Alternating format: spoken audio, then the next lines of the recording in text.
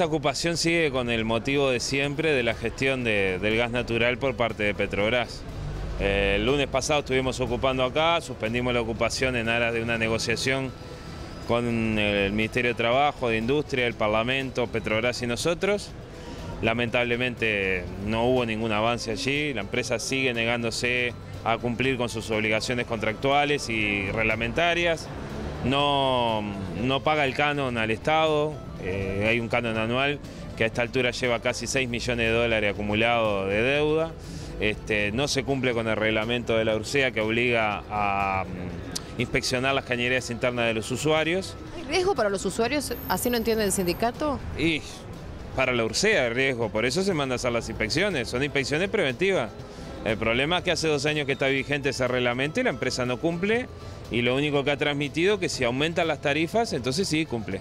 ¿Cuántos son los usuarios actualmente? En Montevideo 39.800, en el interior unos 5.000.